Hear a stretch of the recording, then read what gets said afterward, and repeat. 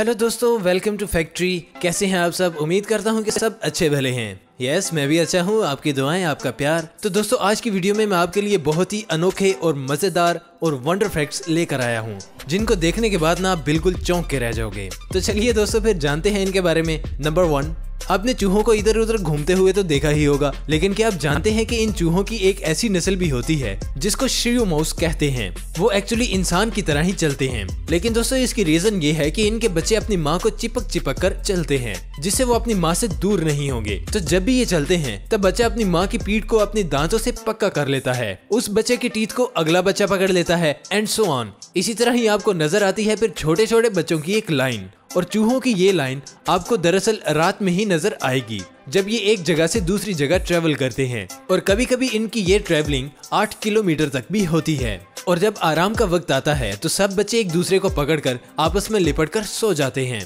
Number two दोस्तों, अगर हमने ज़िंदगी में कुछ भी सीखा है तो ये सीखा है कि किसी भी चीज़ को हमें उसकी शक्ल और साइज़ से जज नहीं करना चाहिए। ऐसा ही है ना दोस्तों? और अगर आपको लगता है कि हुसैन बोर्ड एथलेटिक चैंपियन है तो मैं दोस्तों आपको बता दूँ कि आप गलत सोच रहे हैं, क्योंकि दुनिया के एथलेटिक बर्ड का खिताब जाता है हमिंग बर्ड को। ये दुनिया की सबसे छोटी बर्ड होती है, पर इसके कारनामे बहुत ही ज़्यादा होते हैं बॉस ये बर्ड हर वक्त वाइब्रेशन में भी होती है, और ये पीछे की डायरेक्शन में भी उड़ सकती है। ये छोटा सा बर्ड 40 माइल्स पर आवर की स्पीड से आपकी गाड़ी को हाईवे पर भी हरा सकती है।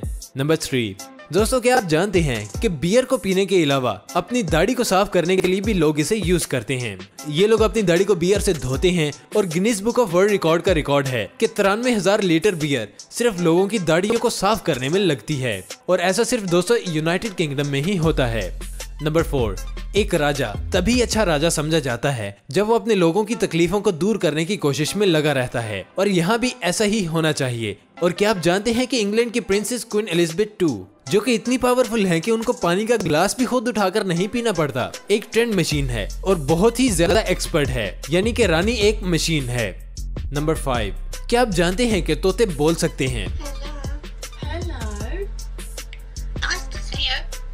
मुझे पता था कि आप में से बहुत से लोग ये जानते ही होंगे, क्योंकि पाकिस्तान के हज़ारों घरों में मिट्टू नाम का तोता तो ज़रूर ही होता है, जिसको बोलना आता है। लेकिन क्या आप जानते हैं कि पैरट से भी अच्छा बोलने वाला एक परिंदा है, और ये परिंदा राविन है। अगर आप इसको एक पिंजरे में कैद करके ट्रेन करेंगे तो ये तोते से ज़्यादा जल्दी से सीख सकेंगे। क्या आपको इस बर्ड के बारे में पता था, और क्या अब आप इस बर्ड को पालना चाहेंगे, या एक तोते को ही पालना चाहेंगे? हमें कमेंट बॉक्स में ज़रूर बताइएगा।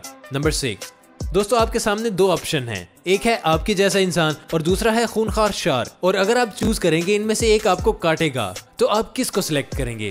अब अगर आप थोड़े से भी समझदार हैं तो आपका जवाब होगा इंसान ही। ऐसा ही है ना दोस्तों? और दोस्तों, मज़े की बात यह है कि इस चॉइस को न्यूयॉर्क के लोगों ने इतना ज़्यादा सीरियस ले लिया है कि असल में जितनी शार्क इंसान को काटती हैं, उससे दस गुना ज़्यादा न्यूयॉर्क के लोग एक दूसरे को काटते हैं।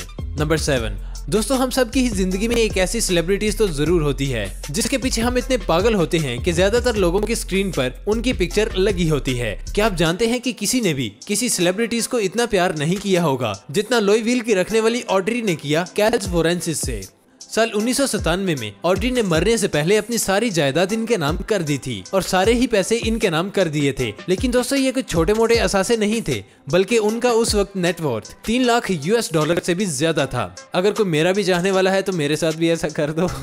खैर part of joke number eight दोस्तों इंग्लिश लैंग्वेज में स्नो वर्ड के बहुत ही कम सेनोनिम्स हैं। मोस्टली स्नो सिचुएशन के अकॉर्डिंग हेल आइस और फ्लरी भी कहा जाता है। और हमारी लैंग्वेज में तो बर्फ़ को बस बर्फ़ ही कहा जाता है। क्यों भाई? भले ही आपको बर्फ़ को जमा हुआ पानी ही बुलाना पड़े। क्या आप जानते हैं कि स्कॉटलैंड में इस फोर लेटर वर्ड के 421 डिफरेंट नेम हैं? सेनोनिम्स की बात नहीं कर रहा मैं। असली वाला नाम एक्चुअल के नाम। और मुझे लगता था कि English is a very funny language number nine दोस्तों, क्या आप खुद को मल्टीटास्कर मानते हैं? क्या आपको एक ही वक्त में तीन से चार काम करने की स्किल पर प्राउड फील होता है? अगर हाँ तो इस चीज़ से दोस्तों निकल आए।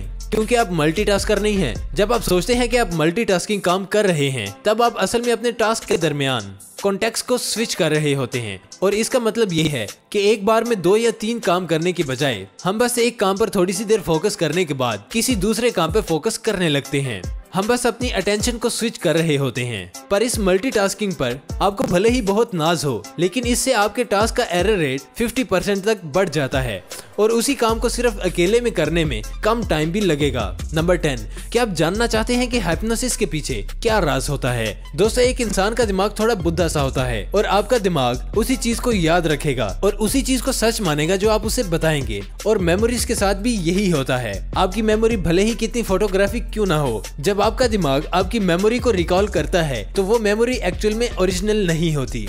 बल्कि उस ओरिजिनल मेमोरी की एक डिस्टोर्टेड इमेज होती है। आपकी ओरिजिनल मेमोरी से कुछ चीज़ें गायब हो जाती हैं, मगर आपका दिमाग कुछ नई चीज़ों को ऐड भी कर देता है और इस मेमोरी को वैसे ही बना देता है, जैसा आप कॉन्शियसली चाहते हैं कि वो बने और दिमाग की सब कॉन्शियस स्किल को कहते हैं the art of creating re imagination number eleven दोस्तों, अगर आपको आज तक ऐसा लगता था कि एक लाइट को सिर्फ़ ब्लैक होल में ही ट्रैप किया जा सकता है तो ये आपकी गलत फहमी है मेरे दोस्तों। क्या आप जानते हैं कि आप लाइट को बहते पानी में भी ट्रैप कर सकते हैं? यस फ्रेंड्स अगर आप लेजर लाइट को बहते पानी में मारेंगे तो वो लेजर की बीम पानी के फ्लो में ट्रैप होकर उसके फ्लो के साथ ही मर जाएगी। और इस फिनोमिना का राज है टोटल इंटरनल रिफ्लेक्शन जिसमें एक लाइट रे एक मीडियम से दूसरे मीडियम के दरमियान एक सर्टेन एंगल पर आती है। तो वो पहले ही मीडियम में अंदर ही अंदर रिफ्लेक्ट होकर ट्रैप हो जाती है और बाहर नहीं निकलती। और इसी चीज़ पर ऑप्टिक फाइबर टेक्नोलॉजी भी काम करती है, जिससे आपको हर जगह इंटरनेट बसानी मिल जाता है। नंबर ट्वेल्व अगर किसी चीज़ से इंसान को सबसे ज़्यादा नफरत है ना तो वो है कीड़े मकोड़े, खासकर बग्स जो आपके बिस्तर, घर या किसी भी जगह पर खूब तबाही मचा देते हैं। दुनिया में तकरीबन सात इशारिया आठ बिलियन लोग हैं और इनमें से हर एक इंसान को ज़िंदगी में एक हज़ार बार बग्स परेशान तो करते ही होंगे। वेल well, दोस्तों ऐसा लगता है कि ऑन एन एवरेज दुनिया में दस हज़ार बिलियन कीड़े मकोड़े होने चाहिए राइट और ये चीज़ हमें तब मिलती है जब हम दिल खोलकर कीड़ों की तादाद को बढ़ा देते हैं। लेकिन क्या आपको पता है कि इन्हीं बग्स की असली पॉपुलेशन क्या है? दोस्तों टेन क्विंटिलियन यानी कि एक के बाद 20 ज़ीरो होंगे। और क्या अब आप ये सोच रहे हैं कि इनको एंड कर देंगे? सोचते सोचते दस ही कीड़े आप मार सकेंगे और इन रिएक्शन ये तो बहुत ज़्यादा बढ़ जाएँगे।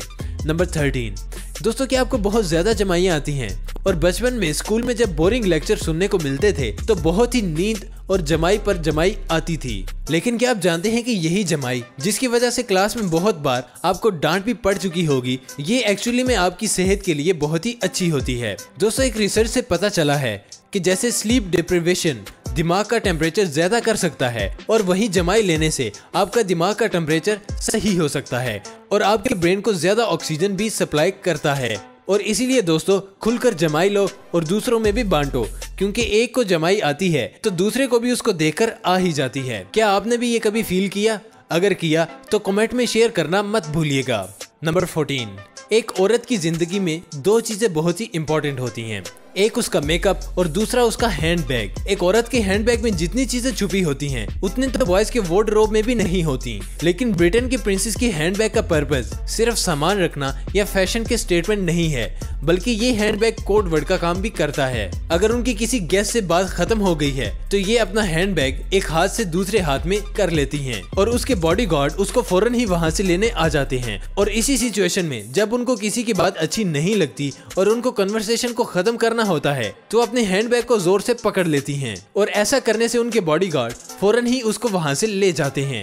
नंबर 15 क्या आप जानते हैं कि सिर्फ़ इंसानों को ही नहीं, बल्कि मौत के बाद स्पेस को भी ग्रेवयार्ड में दफनाया जाता है। पॉइंट नीमो दुनिया का फेथिस्ट पॉइंट है फ्रॉम द लैंड इस पॉइंट पर 300 से भी ज़्यादा स्पेस क्राफ्ट की लाशें दबी हुई हैं। रशिया का बनाया गया ये स्पेस स्टेशन जो दुनिया का सबसे पहला ऐसा स्टेशन था, जिसको ज़मीन से बाहर उसके ऑर्बिट में असेंबल किया गया था। वो भी पॉइंट निमो में दफनाया गया है। Number 16 O M G oh my god क्या आप जानते हैं कि ये famous short form O M G आखिर बनाया किसने? इस शॉर्ट फॉर्म को 1917 में बनाया गया था। जॉन अर्बुथनट पिशर विंसेटन चर्चल में लिखे गए एक खत में, और उसके बाद ही ये शॉर्ट फॉर्म हमारे तक पहुँच सका था। और किसको पता था कि तब इतने बड़े लोग भी एसएमएस लैंग्वेज में लेटर लिखते होंगे?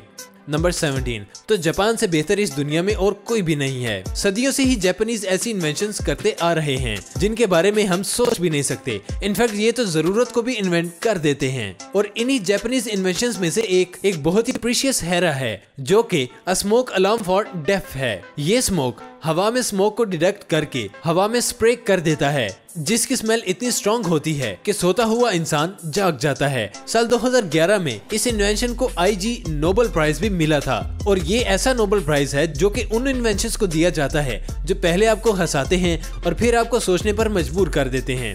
उम्मीद है दोस्तों, आज की वीडियो आपको पसंद आई होगी। वीडियो पसंद आने की सूरत में इसे लाइक कीजिए और दोस्तों के साथ धड़ाधड़ शेयर भी कीजिए।